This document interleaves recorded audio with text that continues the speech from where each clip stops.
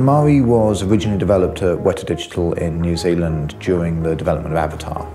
Really, it came about because of the scale and complexity of the problems that, that Weta were looking at. So it was developed in the trenches, it was developed alongside artists who were working at really the highest level of visual effects. A lot of it was really driven by Avatar, but it was coming out of our experience from the Lord of the Rings trilogy and King Kong. What I really wanted was something that worked more like it does in the real world, right? Where like if you're in the workshop, you know, you pick up an object, you paint it, you spin it around, you can have lights on it.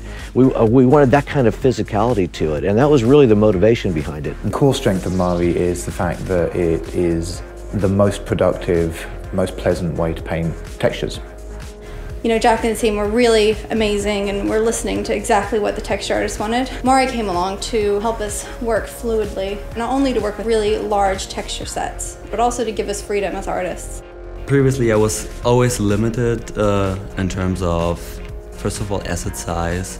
Um, when I uh, painted with other 3D painting packages, um, the performance was really slowing me down. While in Mari, I can deal with crazy, huge assets and since it's a 3D painter, I'm focusing on the artistic side instead of more the technical side.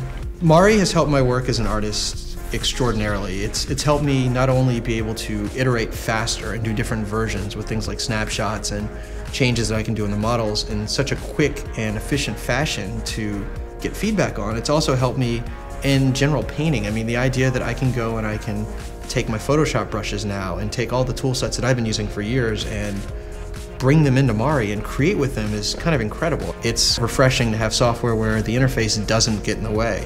The one thing I tell people all the time is that Mari is a program that allows um, artists to work in context of the asset. And I don't think that was ever possible before in the way that it is possible in Mari. Mari should be an immediate replacement for any existing texturing system that you're using. One of the things that Mari is built on, one of its central philosophies, is being open. Mari can read and write files that um, Nuke can read, that Hiero can read. So on a fundamental level, they, they work out of the box. What I really liked about Mari was, was that if you think of something, you know, there was always a tool to do what you wanted to do.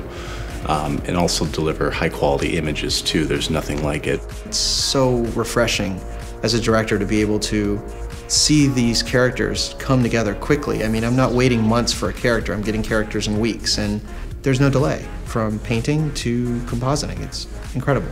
Mari is a tool for artists, first and foremost. It lets us create, it lets us bring our ideas to life, and it lets us express them. Every artist seems to love Mari. I haven't met one artist that's tried it and hasn't been, uh, wow, this is really great.